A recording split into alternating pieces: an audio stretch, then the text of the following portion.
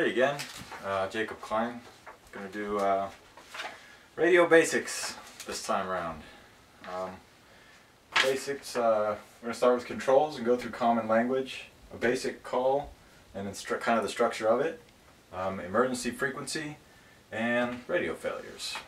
Um, so first thing, I'm gonna read a, a little story I found, which I think kind of will get us off on the right foot.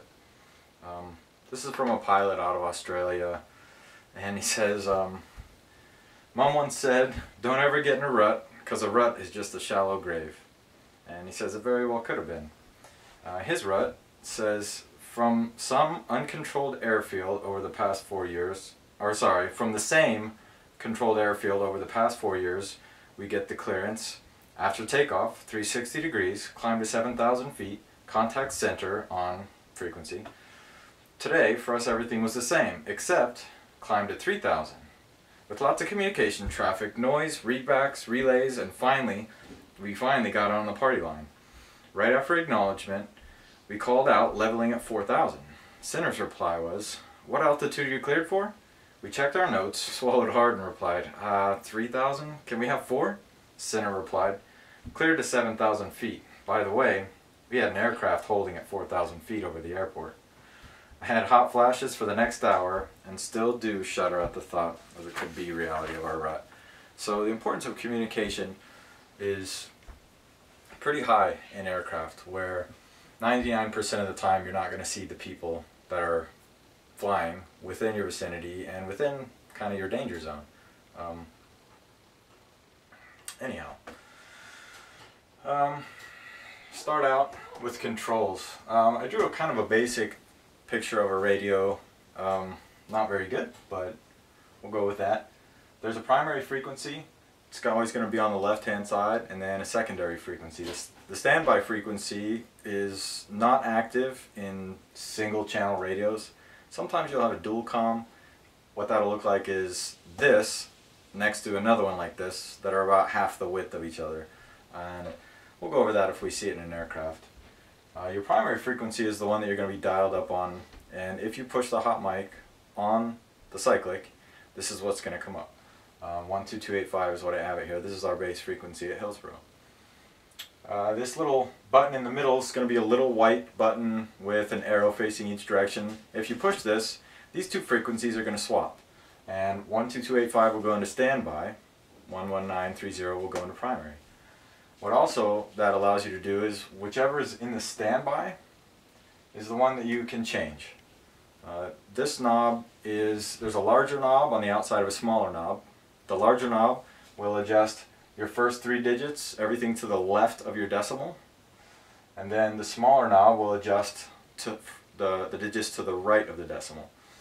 If you need to go to um, a three digit on the right side of the decimal, you can pull out the small knob and it will say take you from you know 12285 and you pull the small knob out and turn one click right will take you to 122.875 whereas normally if it were pushed in it would take you to 122.90 uh, the other one is the on and volume switch. Some of them are over here some of them are on this side.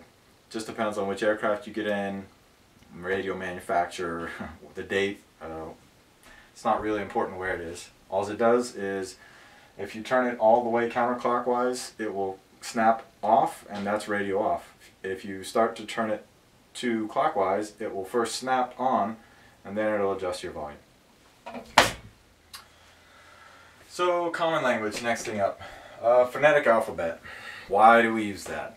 It's an annoying thing so I have to learn one more way to speak, to say your letters with a name for each one, to say your numbers with a name for each one, to say them with a specific inflection. There's a good reason for that. Uh, I've thought of some basic reasons or some of the basic letters that we can get confused, especially when you're on a radio that's, you know, 20, 30 years old. The communication is not the greatest. You're not a very high power transmitter, so um, the tower and other people around you, what they're actually going to hear isn't what you sound like in your own headset. Um, there's a couple letters like B and D, Bravo, and Delta.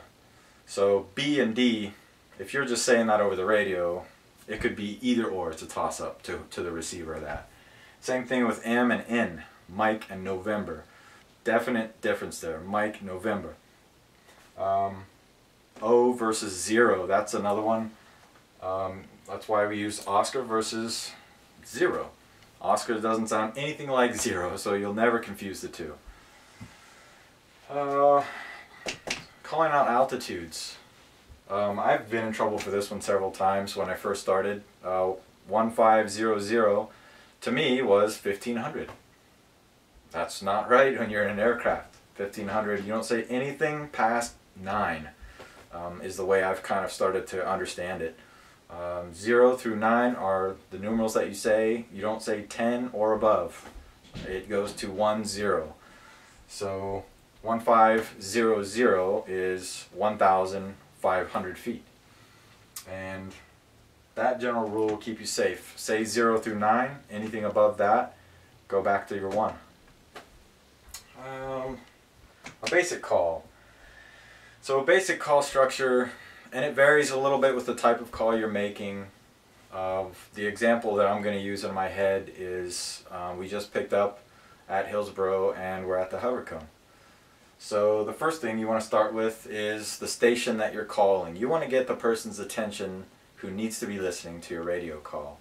So if we're sitting at the cone at Hillsboro, you say Hillsboro Tower. That's their call sign. Uh, next thing, you want your own call sign out there. You want them to know who's calling them. Hillsboro Tower, this is November 351 Juliet Delta. I'm sorry, this is helicopter, November 351 Juliet Delta. Uh, the next thing, your location. You want to tell them your location and also your altitude if you're anywhere else but on the ground. But that comes into our location. So Hillsboro Tower, helicopter 351 Juliet Delta, at the hover cone at HAI. And from the hover cone, there's an additional little thing. I don't have it written up here, but you want your weather. Uh, whenever you call a control tower, you want them to know that you know what the weather conditions are. So Hillsboro Tower, helicopter 351 Juliet Delta, at the hover cone with information India, requesting westbound departure. And they, you just stand by and they will come back to you with your clearance. So that's station you're calling, your call sign, your location and altitude, and your traffic. So whatever you have to say is the last thing you always say. Um, down to emergency frequency. Uh, in a helicopter, this is kind of a, a spot of toss-up whether you should actually try and dial this up if you're an emergency. I don't think you're going to have enough hands. You'll be pretty busy trying to take care of getting safely to the ground at a controlled descent rate. But the emergency frequency is 121.5. 121.5, 121.5. I said it three times, I bet you won't forget it. So your emergency frequency's there, and this is, dang it, I forgot to fact check this, but I believe it's monitored by military personnel. This is an emergency frequency, and uh, you will hear, I have heard a story of a commercial pilot who said he's been out in the sticks and because he wasn't in an area that had a common traffic advisory frequency, he would just dial it to 121.5. That way, if anything happened, all he had to do was thumb it up or key it up. And he was already on with the emergency frequency. And as he's flying, doing his work, there's these two guys that get on and just start, you know, jaw jacking on 121.5. Next thing you know, somebody with a little bit of tense you know, tense tone in their voice gets on. This is emergency frequency. You shouldn't be doing that. La la la. Well, they really shouldn't. Um, that could potentially save or take somebody's life. If you're keyed up over somebody and they have one chance to make an emergency radio call before they go down somewhere to give out maybe their location or some vital information that could get them rescue in time to possibly save their life or somebody else's, you don't want to be messing around on that frequency. Um, next up, radio failures. So I'm only going to go over the basics of radio failures because we're talking about basic radio operation. Um, emergency procedures is, I think, a whole nother realm, but these there's there's two points here that I just want to mention briefly as we're talking about basic radio communications and radio failures. Uh, it's important to know that if you should have a radio failure, it's possible that people can hear you, you just can't hear them. So continue making your regular traffic calls. Do what you would normally do. Take your time, make sure you're scanning, but continue broadcasting what your intentions are and that way, if your radio still is transmitting, you're just not receiving, the people that are out there are going to watch out for you. That being said, the other thing that you want to do if you have a radio failure, of course, and we'll learn about these squawk codes, is squawk 7600. Uh, there's three like emergency situation squawk codes, and 7600 will tell anybody who gets you on their radar that you have a radio failure. But what this is going to do is allow them if they have a chance, to call the people that are up in your area and make sure that they stay away from you so that you can get the aircraft on the ground safely and get your radio checked out. Uh, I think that's pretty much it. So we covered controls, common language, basic call, your emergency frequency, and we basically touched on radio failures, but nothing in too, too much of a depth with that, um, the couple things that I wanted to ask is, and I know we just barely covered it, but um, what squawk code you squawk for lost comms? Good, that's just one of the three, but we'll learn the other ones soon enough. Um,